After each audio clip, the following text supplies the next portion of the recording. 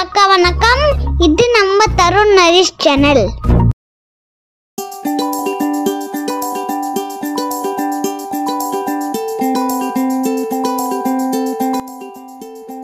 எல்லாருக்கும் வணக்கம்.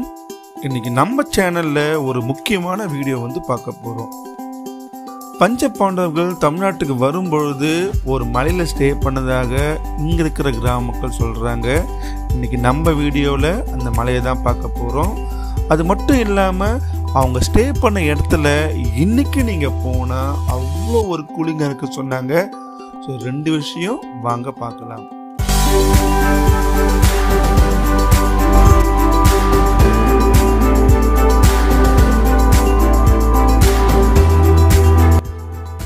ஃபர்ஸ்ட் இந்த மலையை பற்றி நம்ம பார்க்கலாம். இந்த மலை பேர் வந்து குருசு மலைன்னு சொல்கிறாங்க ஒரு சில பேர் வந்து கூசு மலைன்னு சொல்கிறாங்க ஸோ ரெண்டு விதமாக ரெண்டு நேம்னு சொல்கிறாங்க இந்த மலைக்கு வந்து ஒரு ப்ராப்பரான வழி வந்து இல்லை. ஒரு ஏன்னா ஒரு ஃபிஃப்டீன் இயர்ஸ் முன்னாடி வந்து கல்குவாரிக்காக கல் குவாரிக்காக வெடி வச்சு அந்த பாறைகள்லாம் தகர்க்கும் போது வழியெல்லாம் மறைஞ்சி ஒரே பாறையாக இருக்குது நீங்களே இந்த வீடியோவில் வந்து பாருங்கள் இது முழுக்க முழுக்க பாறையால் தான் அது இருக்குது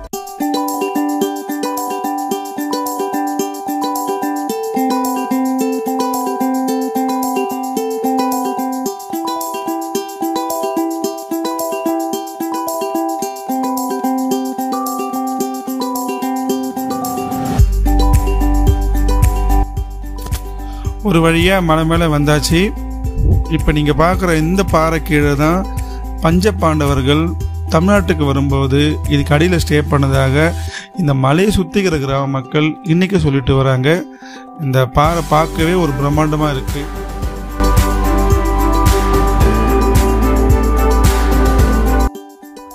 இந்த மலையை பற்றி நான் அந்த ஊர் மக்கள்கிட்ட கேட்கும்போது அவங்க சொன்ன ஒரு முக்கியமான தகவல். நீங்கள் போயிட்டு அந்த பாறைக்கு ஸ்டே பண்ணி பாருங்கள் ஏசியே இல்லாமல் அவ்வளோ கூலிங்காக இருக்குன்னு சொன்னாங்க.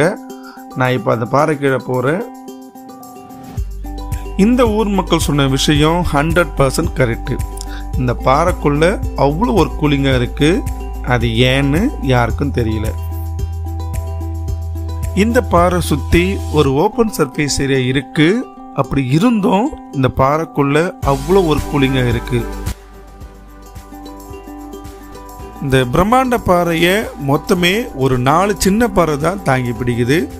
நீங்கள் வீடியோவில் பார்க்குற மாதிரி ஒரு சைடில் இந்த மூணு பாறைங்க தாங்கி பிடிக்குது. இன்னொரு சைடில் இந்த ஒத்த பாறை தாங்கி பிடிக்குது.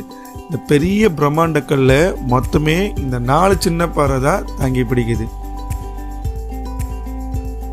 நீங்கள் பார்க்குற இந்த இடம் தான் பஞ்ச பாண்டவர்கள் வந்து தங்கி ஸ்டே பண்ணதாக இந்த கிராம மக்கள் சொல்கிறாங்க இந்த இடம் வந்து அவ்வளோ ஒரு ஸ்மூத்தாக இருக்குது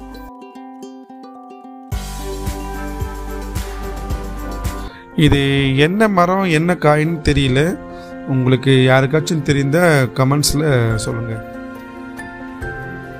இது போன்று மற்றும் ஒரு வீடியோவில் சந்திப்போம். நன்றி வணக்கம்.